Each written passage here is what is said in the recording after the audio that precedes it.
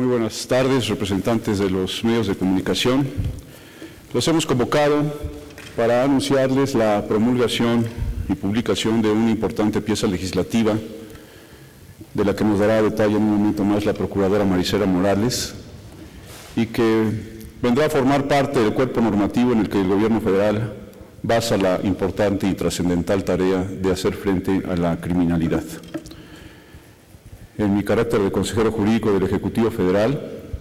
hago un reconocimiento a los integrantes de todas las fuerzas políticas que forman el Congreso de la Unión por su empeño en la discusión y aprobación de esta importante ley. Y hago votos muy sinceros y una petición para que en el próximo periodo extraordinario de sesiones, si es que esta se aprueba, o en el próximo periodo ordinario de sesiones, se aprueben las leyes que aún están pendientes, especialmente las relacionadas con el tema de seguridad, muy particularmente el Código Federal de Procedimientos Penales que dará paso a los juicios orales, la ley para prevenir y sancionar el lavado de dinero y también la muy importante ley de amparo. Muchas gracias.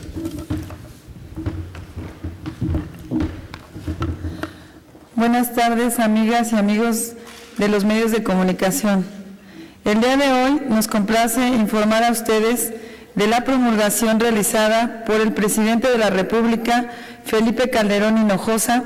del decreto por el que se expide la Ley Federal para la Protección a Personas que Intervienen en el Procedimiento Penal y reforma el artículo 31 de la Ley Federal de Transparencia y Acceso a la Información Pública Gubernamental.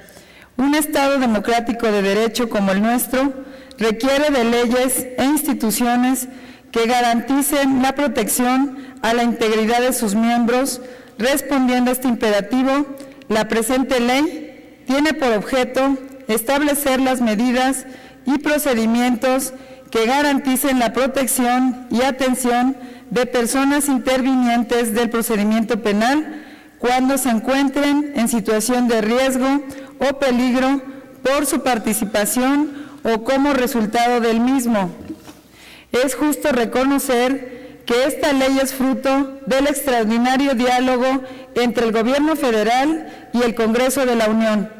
La iniciativa fue presentada a finales de septiembre del 2011 por un grupo plural de diputados de casi todos los grupos parlamentarios de la Comisión de Justicia, aprobada sin votos en contra por la Cámara de Diputados y una vez en el Senado de la República, la minuta se enriqueció con las aportaciones de los senadores miembros de las Comisiones Unidas de Gobernación y Estudios Legislativos de dicha Cámara, en cuyo pleno también fue votada favorablemente por unanimidad de los legisladores presentes en la sesión. Y finalmente, las modificaciones se aprobaron en la Cámara de Origen, lo que representa un gran consenso en ambas cámaras del Poder Legislativo Federal.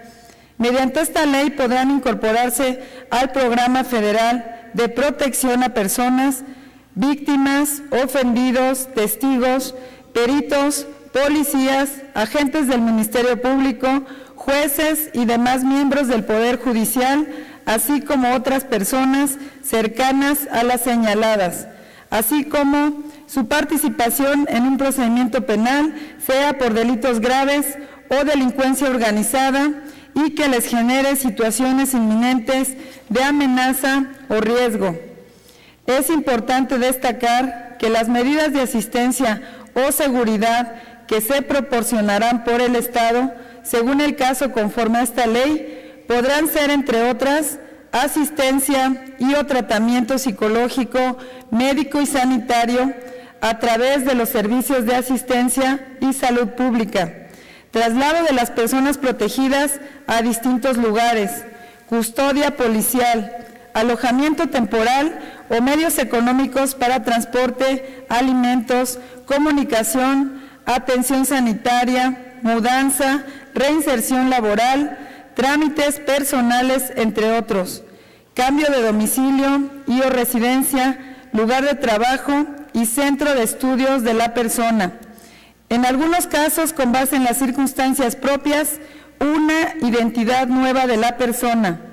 Para aquellos que se encuentren recluidos en prisión preventiva o en ejecución de sentencia, se tomarán otras medidas, como la separación del resto de la población, asistencia en la gestión de trámites, asistencia y asesoramiento jurídico gratuito, a fin de asegurar el debido conocimiento de las medidas de protección y demás derechos, y podrán implementarse otras medidas de conformidad con la valoración de las circunstancias si esto es necesario. Podrán implementarse además medidas de seguridad de otros derechos. Para alcanzar estos objetivos se crea el Centro Federal de Protección a Personas como un órgano desconcentrado y especializado de la Procuraduría General de la República con autonomía técnica y operativa en la aplicación de las medidas de protección, el cual estará a cargo de un director nombrado y removido por el presidente de la República a propuesta del procurador. El centro contará con un grupo multidisciplinario de servidores públicos por abogados, médicos, psicólogos, trabajadores sociales y demás profesionistas que sean necesarios, así como con elementos de la Policía Federal Ministerial.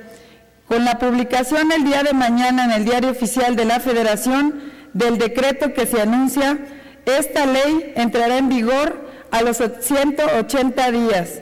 De esta manera, el gobierno del presidente Felipe Calderón Hinojosa y el Congreso de la Unión aportan a la sociedad un instrumento jurídico invaluable para garantizar la protección de la integridad de las personas que se encuentran en riesgo por su participación en los procedimientos penales, con lo que se abona de manera importante a la consecución de la correcta procuración y administración de justicia. Muchas gracias. Agradecemos a todos los representantes.